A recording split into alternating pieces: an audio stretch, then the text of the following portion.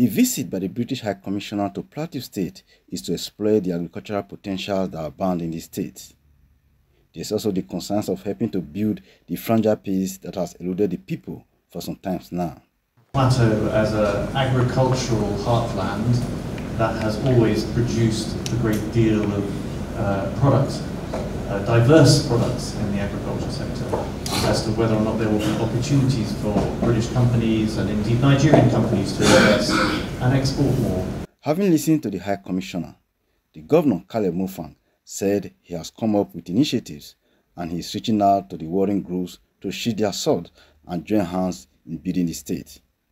He also made some requests from the High Commissioner. On the issue of peace, we have made significant progress. I will continue to watch it we have made, um, appointed a new Director General of the Peace Building Agency. We have also reorganized Operation Rainbow uh, to form part of the component of our peace drive. Before leaving the plateau, the British High Commissioner Richard Montgomery signed a condolence register following the December 2020 insecurity that befell the state.